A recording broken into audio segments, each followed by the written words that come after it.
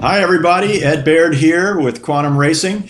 I'm here with a couple of wonderful teammates today who are uh, really driving force uh, on board of making us go well around the race course. Uh, we've got Warwick Fleury and it's uh, Andy Estcourt, and together these guys are responsible for trimming the main, which is Warwick's job, and and managing our mast and all the controls that go with that to make the main uh, be trimmable, and that's Andy's job.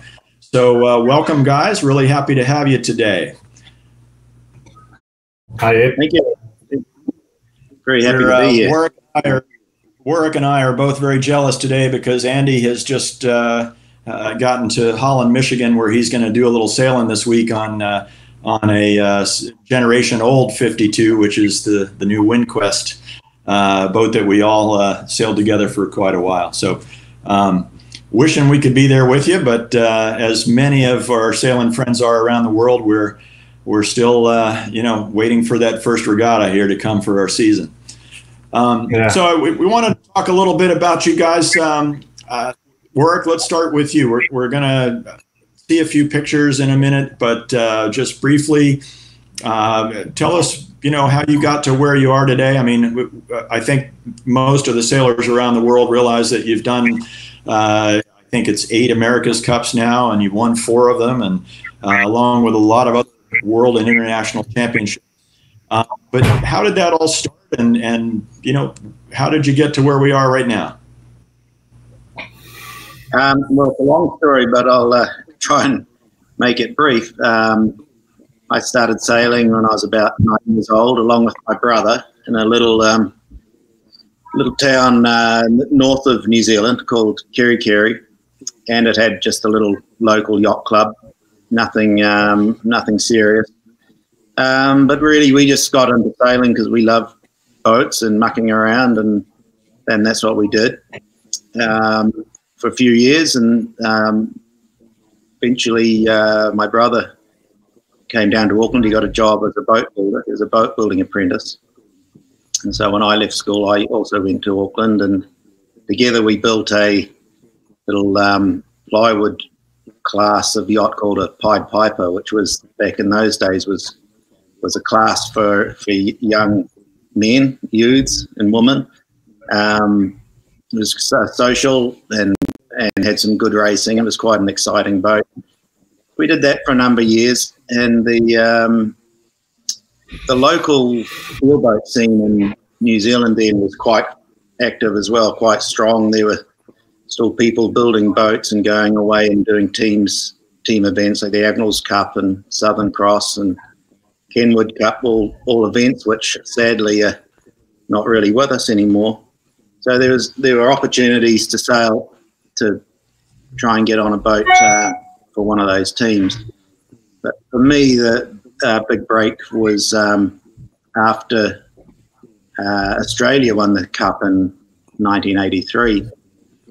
Um, the yacht squadron in, in Auckland uh, found themselves in a position where they had the entry fee paid for the America's Cup, so they looked at doing a um, study to see if, if this was something that that, uh, that they might do into the into the cup. And there was a world championship on in 12 meters in Sardinia. This would have been about 1984, I think. And so they thought, oh, we'll put a team there, and they wanted to see who was who was available, and lots of people were. But then they said, well, there's you know, of course, there's no money there. You're gonna have to find your own way and pay for everything. So most people, I think, put their hands down, and, but I kept mine up and borrowed some money from the bank and ended up going. And that um, led to me, of course, New Zealand did go ahead with a challenge for Fremantle, and I became a part of that team. And uh, so that really was the was the start for me. Well, and then uh, you've been sailing so many different kinds of boats. We're going to talk more about that in just a minute. It's uh, it's really fun to talk to you all the time about the different uh, projects you get involved with. So good fun. Now, Andy, you, you had to pretty much exactly the same experience, right? Um, the well, in, in few years later, though. Um, you, of yeah. course, are similar area of the world. You've come up through a lot of different big boats. Uh, we we met you. I, you and I met uh, when you were sailing on uh, another 52, and we sailed together a little bit on that boat. And then you moved over to to you were trimming the main there, but now you're helping to trim the main, you know, which is doing your job on the runners and managing the mast. Um, and of course, you trim the main on the world champion RC44 uh, Aqua. You've been doing that for quite a number of years. Um, tell us where your beginnings were. Yeah, I, I certainly don't have uh, the, uh, the, the resume of Warwick, of course, but uh, probably a similar starting point. Sailing dinghies back in New Zealand and uh, in Napier, Hawke's Bay. Um, I came up through the, the normal the P class the P class, uh, which was a pretty busy busy little class at the time. Um, came up through the full the the dinghy scene with the the youth classes and um, you know the double handers.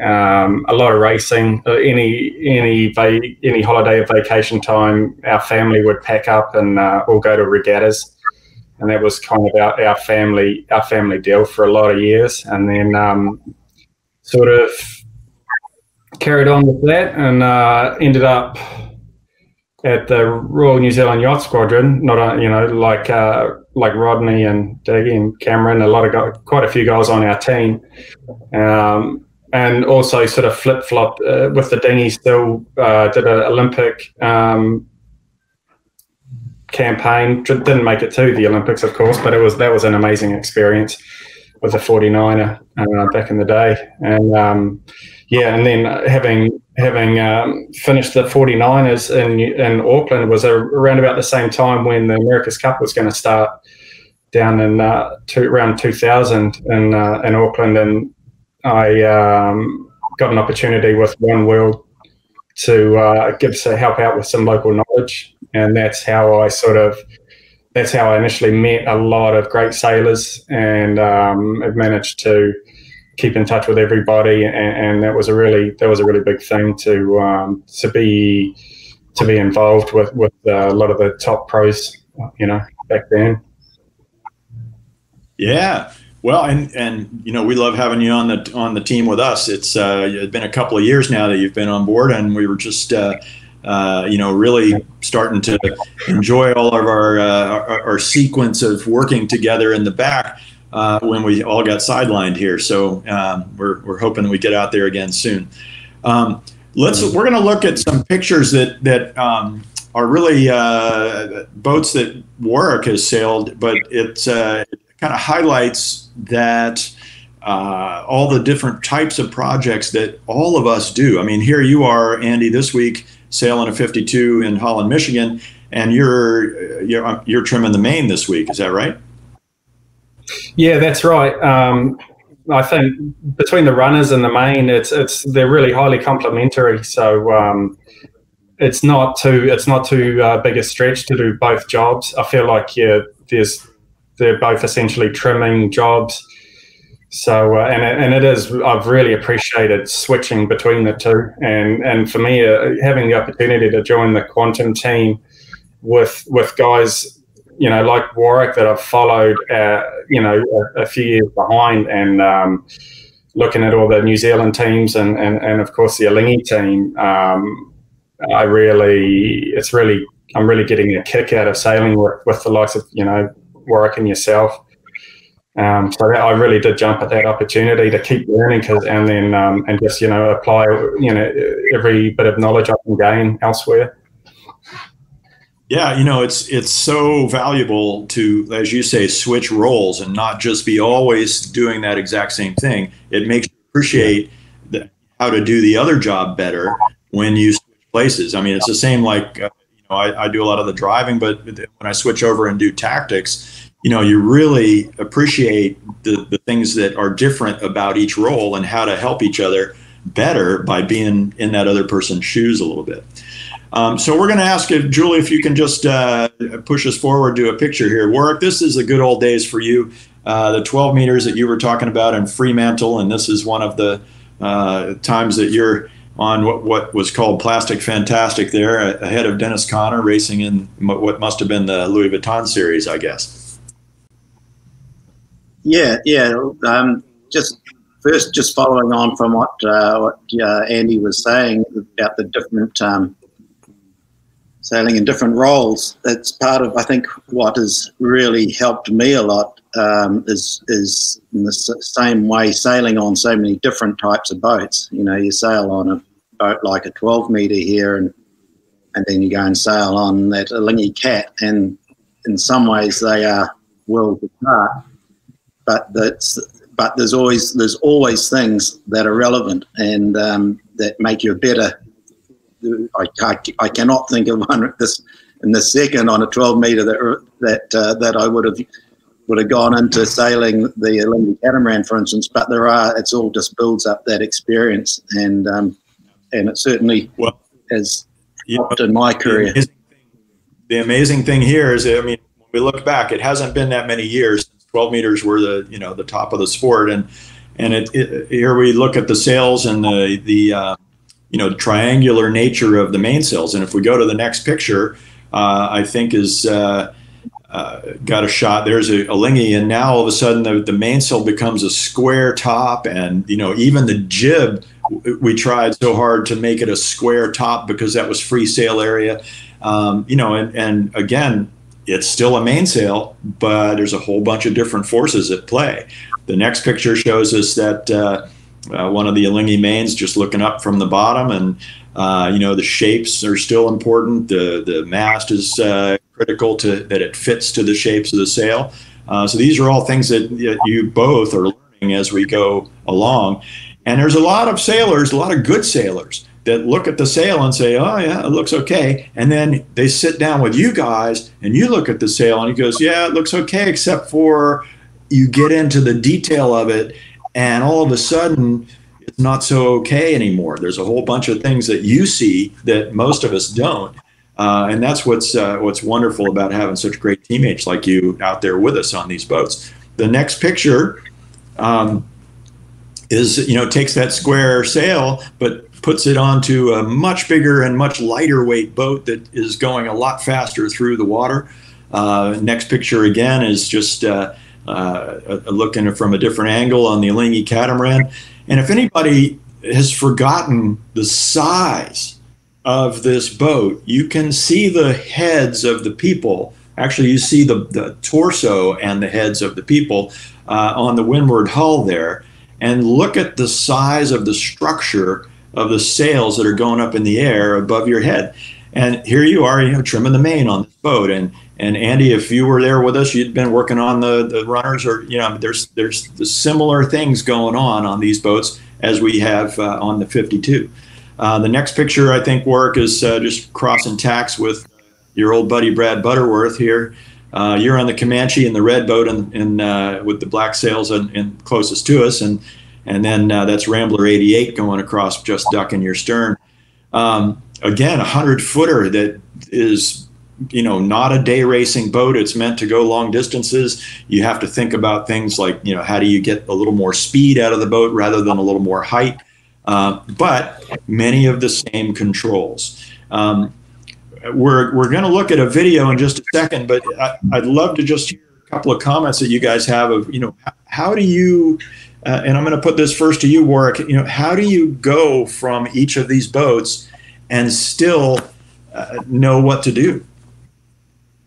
Well, yeah, it's a, it's a question that um, that I get asked uh, from time to time. People say, "Well, you know, what's it like trimming a mainsail on that catamaran? What was the life? It was um, 180 meters or something like that. It was incredibly tall rig, going at nearly nearly 200 feet, I think. Yeah.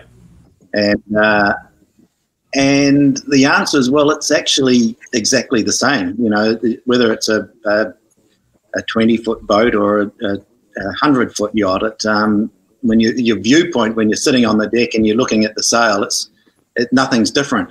You, you try not to think of in that case you don't think about the loads try not to think about the loads so much because they were astronomical you know there was the yeah. main sheet load was 20 tons, and there was one piece of rigging that was 100 tons on there. So, and of course, you everything on that was hydraulic and tremendous power to um, be able to sheet the sails. And if you press the wrong button at the wrong time or for too long, you could do some literally you could make the boat fold in half.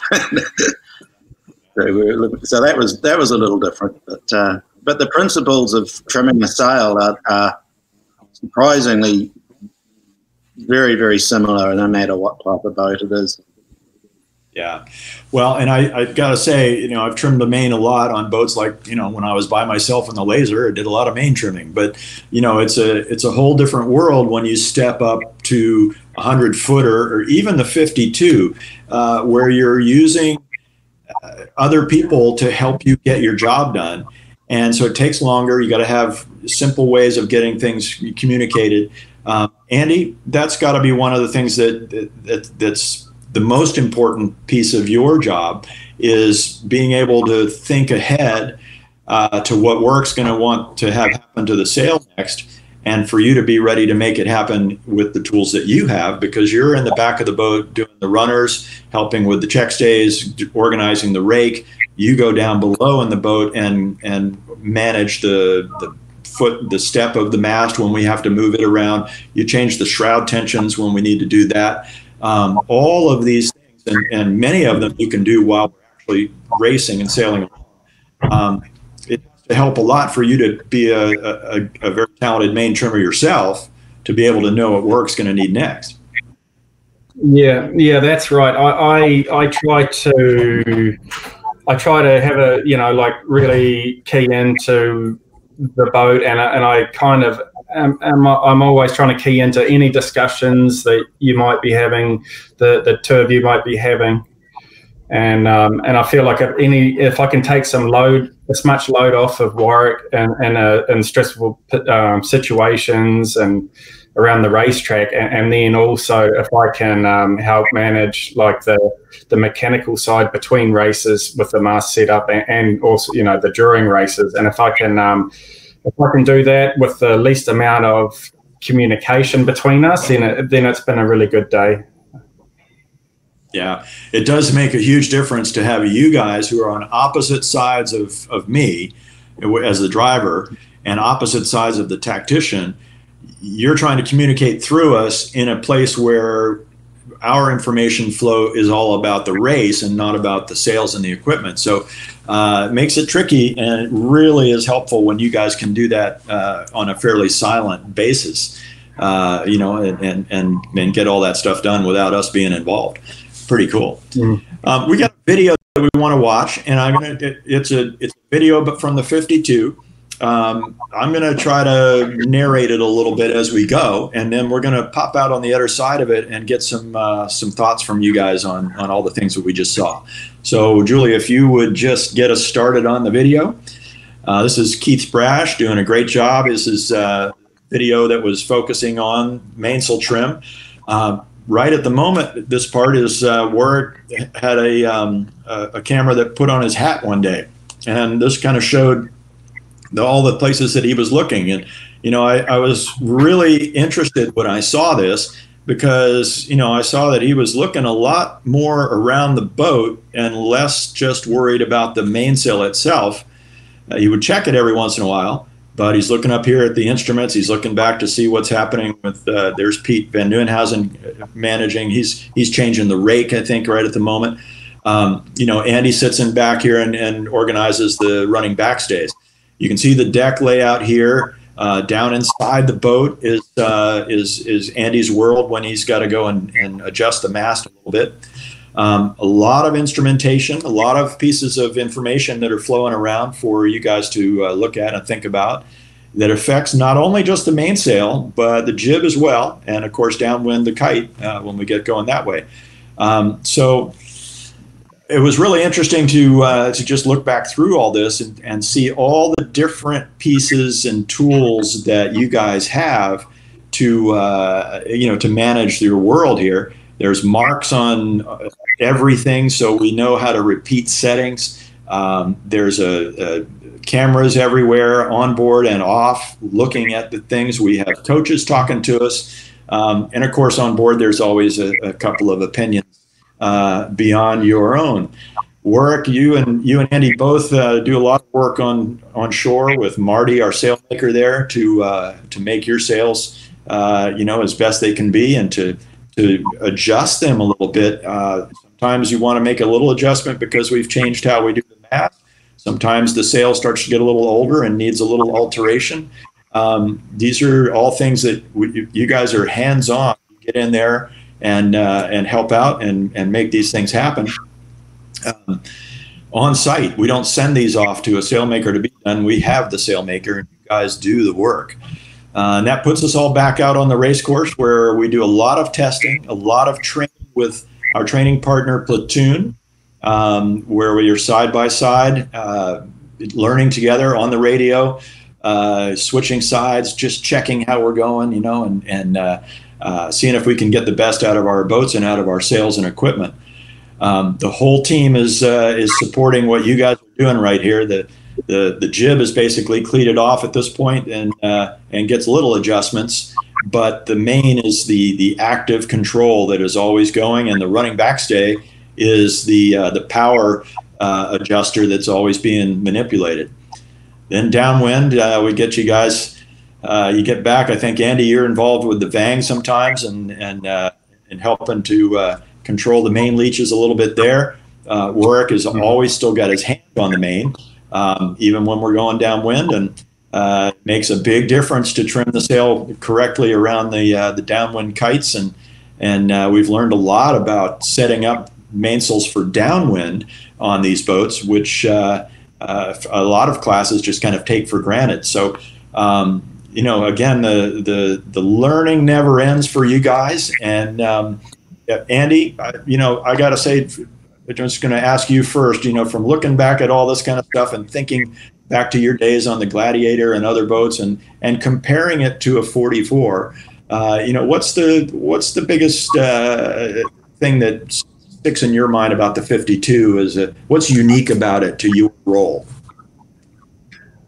The the um, first of all, these boats are so efficient. it, it is a real pleasure to sail the 52s. They're they're, uh, they're really refined boat.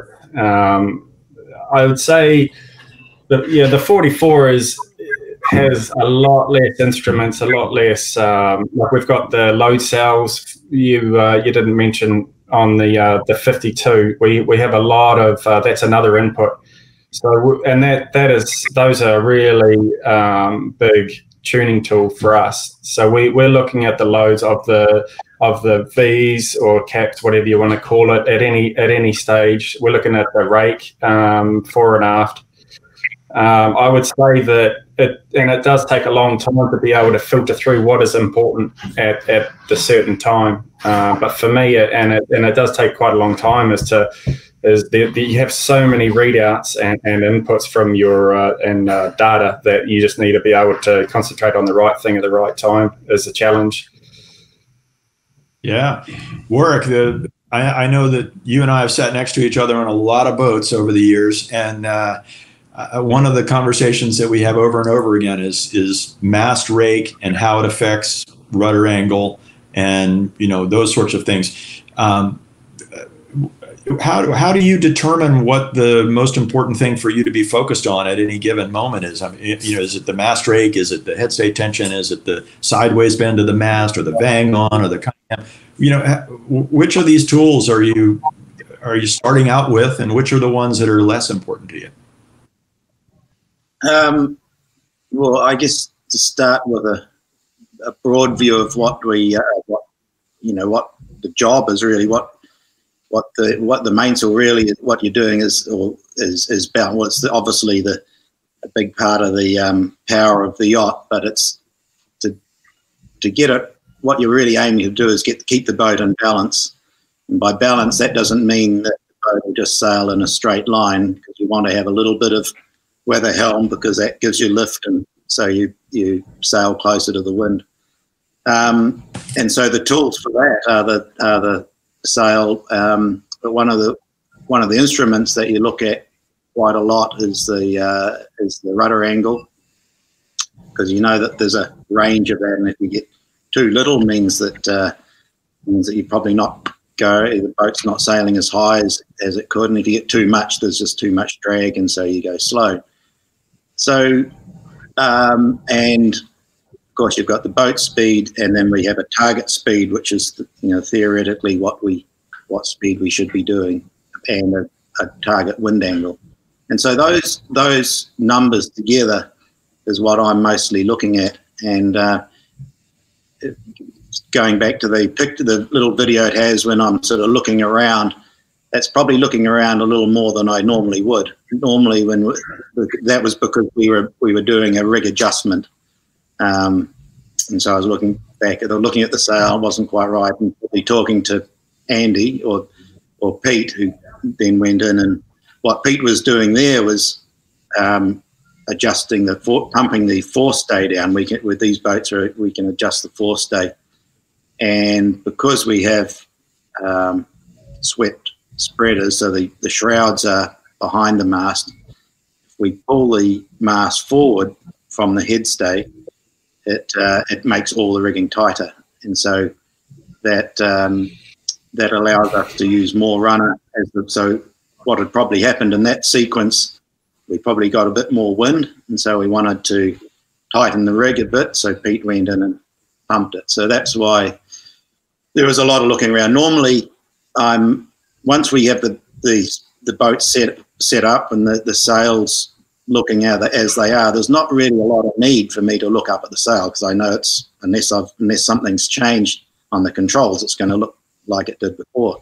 So what I'm looking at is actually a lot the same what you're probably looking at, which is the the uh, angle of the boat, the heel of the boat, and the and the uh, the, the boat speed target speed, um, wheel angle, and uh, wind angle. And so much, much the same as you, I think our jobs are quite similar. We're both trying to make the boat go as fast as we can at a, at a steady angle. Well, it's funny because uh, uh you're making me remember a time when we sailed with a uh, an owner uh, that you, you, came in because uh, the normal main trimmer got hurt, and so we got you to come and sail with us. And the first day we went out, uh, I was a tactician and the owner was driving and, and you were trimming the main. And, and about 20 minutes after we started going upwind for the first time, he turned around to me and he said, Who is this guy? He says, He, he does stuff right before I, I realize that I need it. And, you know, and it's just such an amazing compliment, you know, from a driver to say, all right, you know, here's a, here's somebody who's thinking ahead and, and can you know see this coming. But i think what you just said is really important. Both of you guys are looking at a lot of the same things that i am when i'm steering the boat. You're looking at heel angle you're looking at the waves that are coming you're looking at an and big thing for you is seeing the light spots or the puffs that are coming in front of us to make adjustments to the overall power with the running backstays so these are uh, these are all really important things um, that we, once we've finished with all of our training and our, our preparations on race day, it actually gets a lot smoother where you're not looking at as many things. Um, having said that, Andy, I got. I'm going to put you on the spot and ask you, and in the 52, when you're racing, what's the most exciting maneuver that you have to deal with back there on the running backstays?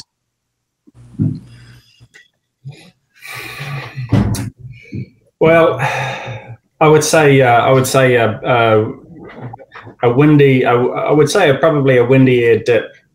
If we um, and then if it was followed by a tack straight afterwards. So there's a few things that need to happen there.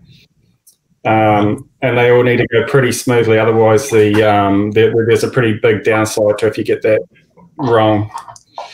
So uh, the first thing is uh, a, ease the vang, obviously ready for, for the dirt, and then uh, straight after I'm off to leeward to um, unload the leeward runner, and then um, and then I'm turning around onto the grind onto the pedestal, and then if Pete's feeling charitable, he'll come in and help me grind, and then and then I'll load up the runner leeward runner again, and then you know maybe we're into uh, attack straight away. And if it's windy, it's there's the back of the boat's moving around a lot, And also, if it's windy, there's not. I need to make sure I get enough sneak.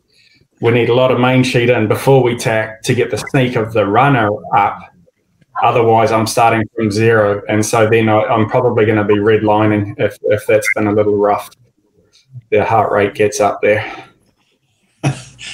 Yeah, and and you know, for Warwick and I, I mean, all he does is ease the main and hold on to it while you trim it in a little bit, and all I do is just duck the guy and and turn up and tack, right? So, uh, but for us to understand you've got all that going on back there at that moment, uh, it does help to make sure that we try to not put ourselves in that position too many times in one race.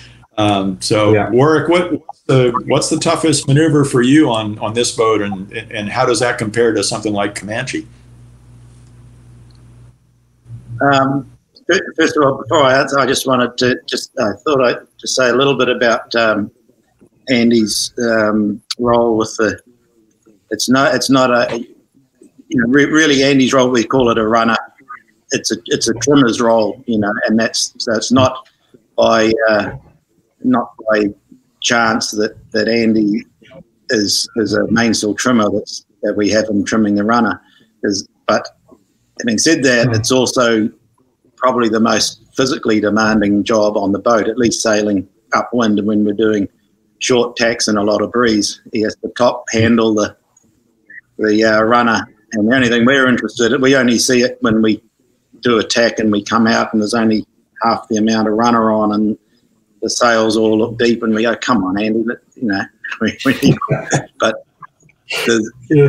we also do, you have to, we understand a bit more now. There's a lot. There's a lot going on there. Yeah, but, um, in that position. Yeah. yeah. So um, oh, sorry. the maneuver for me, um, it might. It's probably the same. Probably dipping. Dips are the one that that uh, could give you nightmares at night because that's the one uh, the one situation that if you get it wrong, um, you can end up in a in a horrible um, contact in the boats, and that's that's yeah. probably on all. Especially, it used to be really bad on the old boats, the 12 meters. I'm really showing my age now. We used to actually have this was before Kevlar sheets and and um, hybrid ropes. We had wire wire uh, wire ropes. The wire going to spliced into into rope at the for the tail, and but the first couple of wraps on the on the drum were, were, would be wire, and after a while that would wear a groove into the uh, into the face of the drum, and the wire. And every every maintenance day or every every while you'd you'd take the drum in and you'd fill that groove in. But if you're out there sailing and developed a bit of a groove. It could actually lock the sheet in there, and that was the worst nightmare. That you're going to do a dip, and you've got this main sheet loaded with all this weight on it, and you're taking turns off, and the, the it just won't move. And you get down to about one turn on the winch, and, and several tons of load, and you're just waiting for it, and then you get hanging onto it with your hands. But that, and then the other one, of course, is um, the other you can get an a, uh, an override with um, with a sheet, so that literally it's bunched up on the on the drum, and you can't you can't ease it. And you get, that's those that's probably the, the that's the worst. Well, I think we're all happy that uh, that, we're not using wire sheets anymore, um, and mm-hmm. and can avoid that sort of a deal. Hey, we're going to change subjects here a little bit. Um, we're going to jump forward to some other pictures that you guys have provided us and just briefly talk through some of the things that you're seeing uh, in these pictures. So, um, first thing, Warwick, this is uh, typical when we go to uh, a debrief at the end of the day, we will look at something like this. What are you looking at here when, when we uh, get these sort of photos? Well, these are all, this is what we don't see when we're sailing, of course and so you know we get a we get one view of our of our um, boat and our sail and our mast and and um, but we don't get off the, from off the boat. We can't see this. We can't see uh, what what we look like and and the others. So it's really helpful for us to um, to get a picture of, of first of all what we're our shapes and then and our competitors. And um, what we're looking at here is there's a, well, there's a, number of things. We can see the, the jib. We can see how close the the boats are sheeting their jib to the centre line, how much depth they've got in their jib, how much twist, and the same for the mainsails, where, where we're seated, how deep we are, how much twist.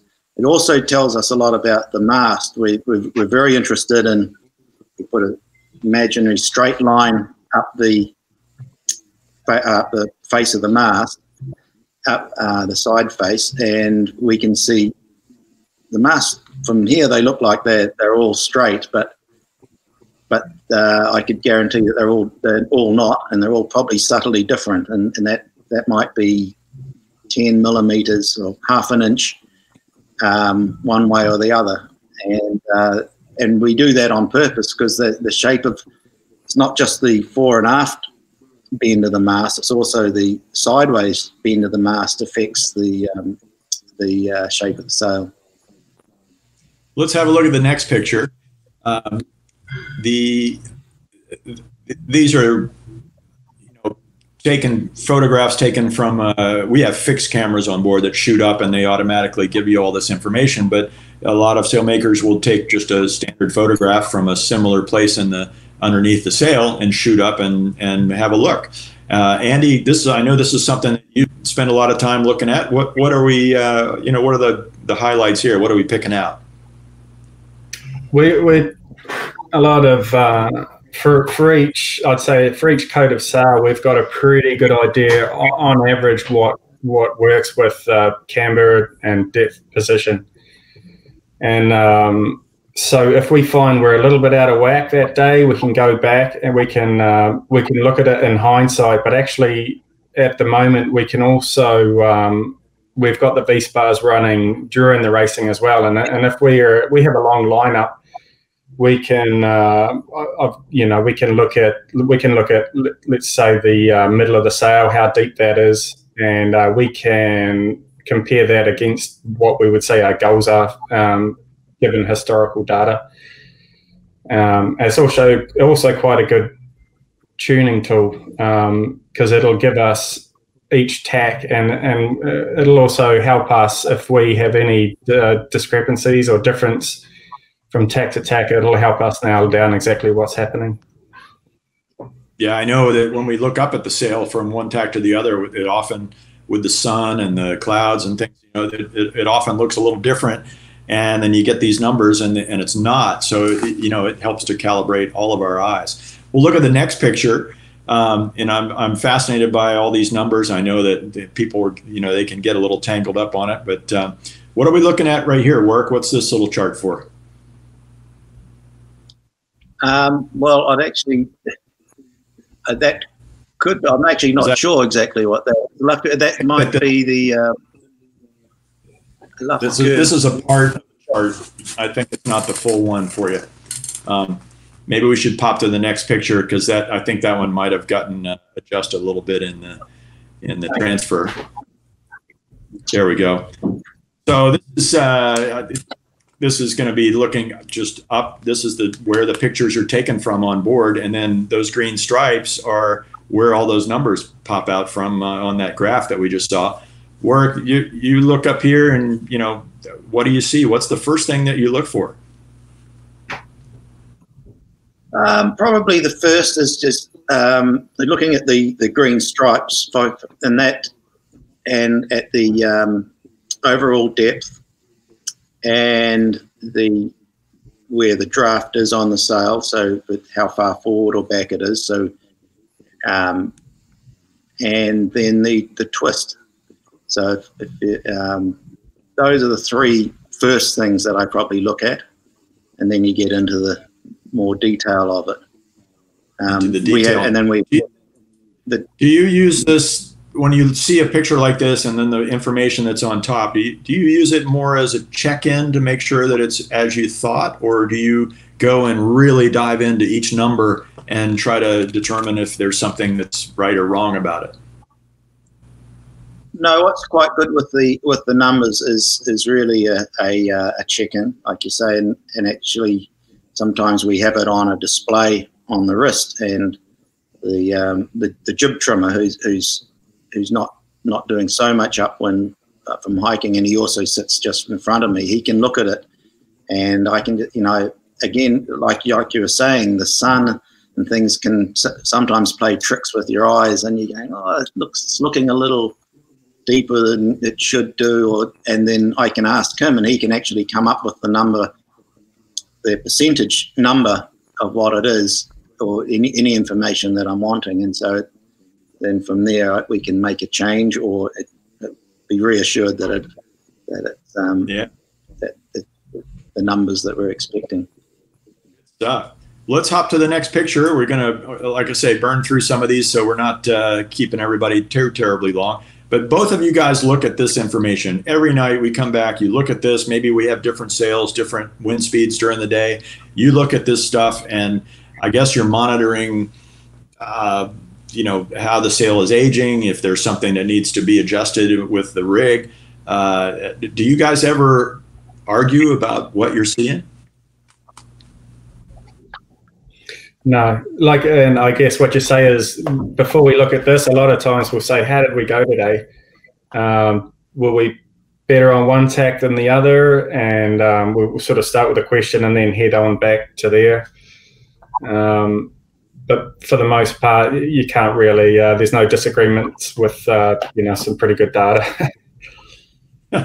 Science is good. Well, let's look at the next photo. We've uh, we've still got a few more to just run through. Again, another main. Um, you know, Warwick. This to me, this looks like we're we're twisted a bit more than some of the other pictures we've seen. What's the?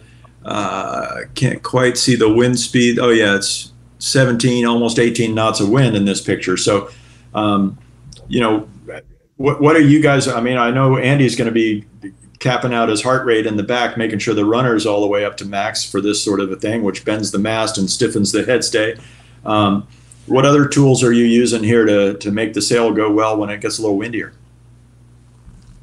Uh, well, obviously, as it gets windier, the boat the boat becomes. Uh, I think we're fully powered and about 11, 12 knots of breeze, and after that, we've actually got more power than we need, and so we've got to get rid of some, and so we do that by um, flattening the sail and by twisting the sail. So we twist the head off, and that dumps power from the top and so we, um, to flatten the sail, we can, we've got some tools with it. It's, it's all well, mostly done through the mast. And so we do that by bend, well, bending the mast, um, which is more runner.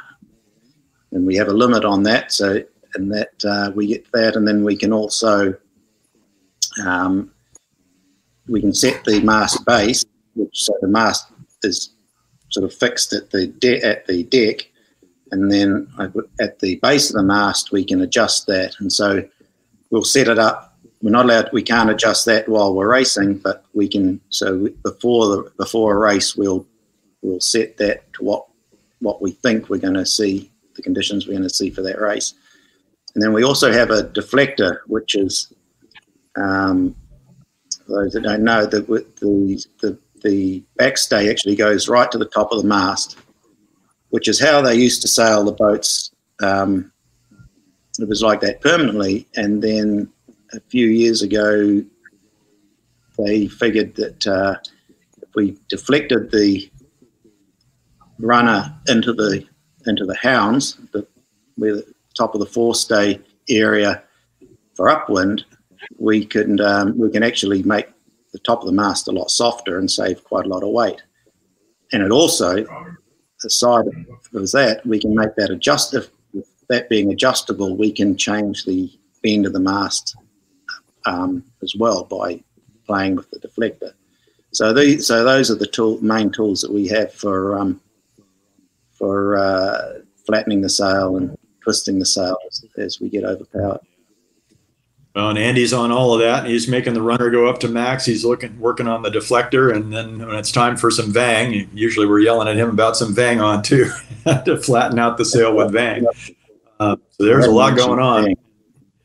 And it, you know, again, having you guys both understand what you're trying to accomplish together is, is such a value on these things.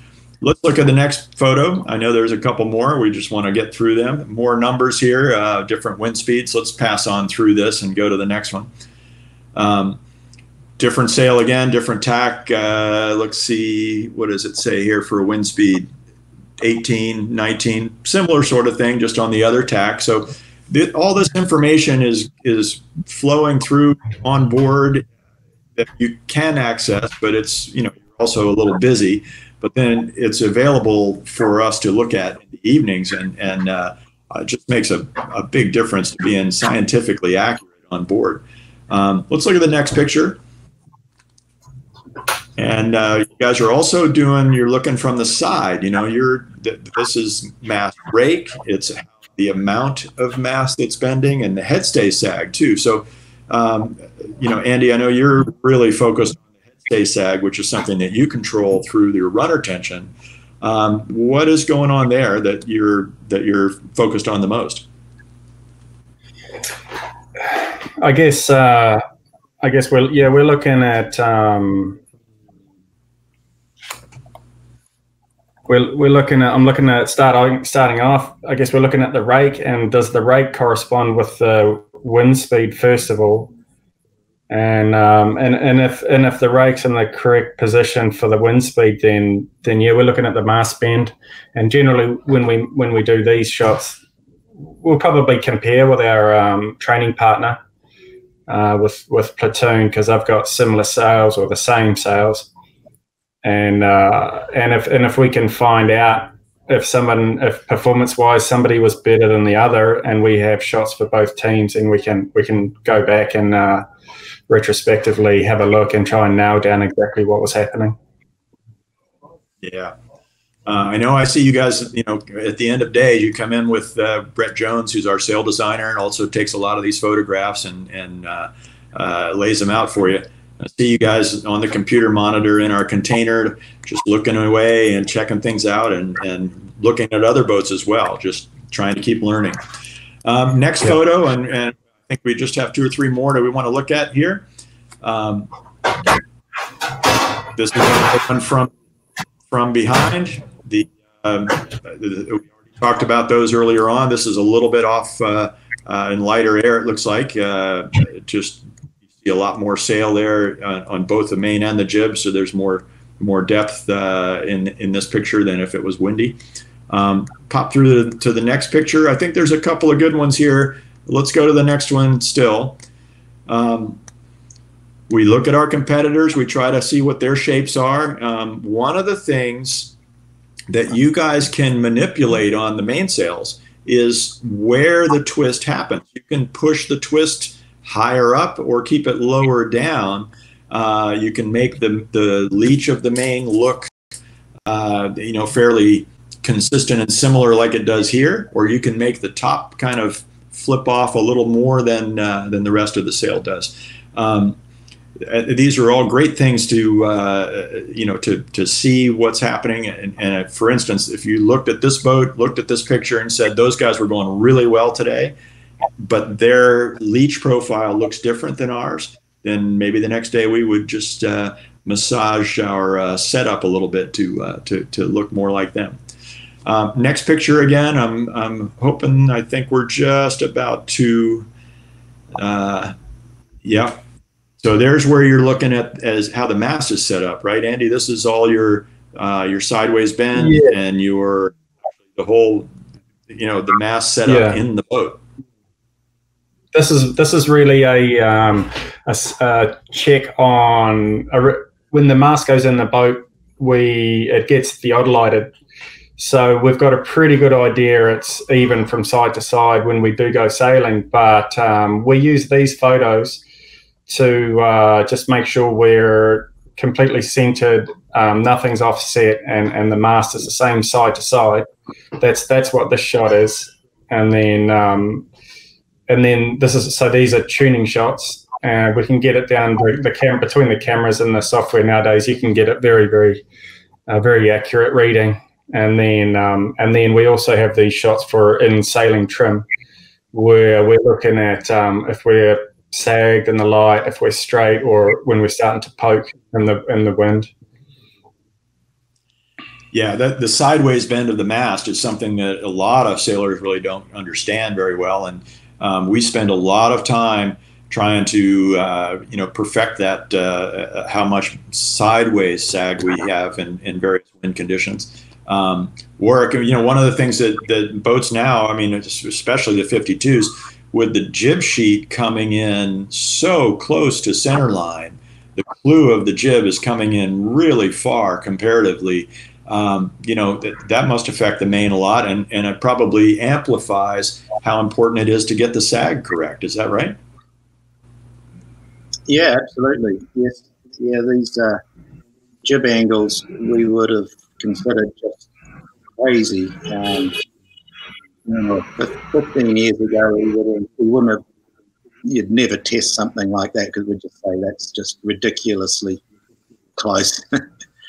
but uh, yes, it does, obviously, it does affect the main. Um, um, and the, um, yeah, the, the, the jib in some way drives the, well, the, the main, the mainsail um, actually um, drives the, the jib trim in some ways because if the jib is just, especially in more in as the wind increases, if the jib is just set perfectly, it's going to backwind the main, and so often the, the jib trim will be dictated a little bit by by myself. Um, if I see too much backwind, I'll I'll get uh, Daggy to to either either drop the lead outboard a little bit or or give the sail a bit more twist. Well, that is one of the areas where we do have the occasional argument on board about uh, how to set sails up. Uh, jib trimmers want their sails to look, you know, like nice looking shapes and beautiful jibs, but sometimes they do have to uh, make them look a little ugly to fit with what the main needs at the time. Um, guys, I think we're going to wrap it up here. And uh, I mean, we could go on for hours talking about this stuff. And I know that people would be super excited about uh, hearing from you. Um, but it's really fun just to just kind of just get a glimpse into some of the stuff that you guys have to think about on a daily basis. Um, and I guess I, I'd love to just maybe wrap it up with one quick question. Uh, as this is this video is going to be watched by a lot of people who are you know learning and getting better at, at what they do on the boats. And um, you know one thing i always like to ask people uh, in an educational sense is you know what's what do you guys see as the number one mistake that you see on other boats racing with the mains? Um, you know and i think andy i'm going to ask you first from a rig setup standpoint what do you see as the as the most often seen mistake that you see on on other boats that are racing? Not not necessarily 52s just generally boats yeah. out racing around. Yeah I, I, would say if you're for starters it's, it's really important not to overcomplicate the what you're trying to achieve with the rig and your setup. And then then you need to be able to repeat settings. And I guess the big thing is um, spending enough time to be able to take your take your setup through the whole range of, of wind. I, I, would say that you know, like if you could just focus on the simple aspects like that, and then you can add in add in you know the finer details afterwards. But just keep your clear goals in mind. Yeah, get the big picture right. Warwick, what do you looking more from a main trimmer standpoint? What do you see as most often as the thing that you put your head down and just say, "Oh, I can't believe they're doing that"? Uh, perhaps I think maybe um, over trimming a sail, especially um, in in wind and waves, because um, as I think you, you certainly know, Ed, if um, uh, if, if you if you have too tight a leech and the boat's bouncing around and it's getting blown over, it's um, it's very hard to very difficult to sail, and usually that means pretty slow as well.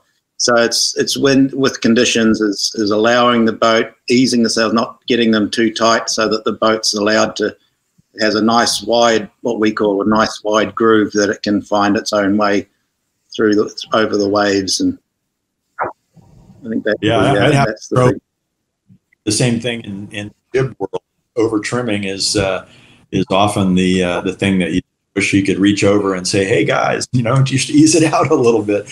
Um, but listen, guys, it has been an absolute pleasure to talk with you today. Um, it's a it's a greater pleasure to race with you, and I really appreciate the time that we've had together.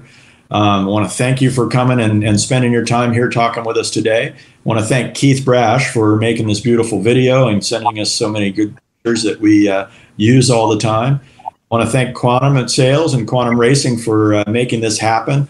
And of course, Julie Davidson, who is behind the scenes. And uh, I know she's waving right now, but she makes this happen and edits it, gets it out on air for us. And we really appreciate your time. So, listen, guys, thanks. We're hoping that everybody can get back on the water soon. Uh, Andy, we know you're already on the water, so you know, tell us what it's what it's like uh, when you uh, get back from your sailing this week. So, thanks a lot, guys. Thank Enjoyed you. it. Thank you. Thank you very much, Ed. Thanks to Quantum Sails for the opportunity.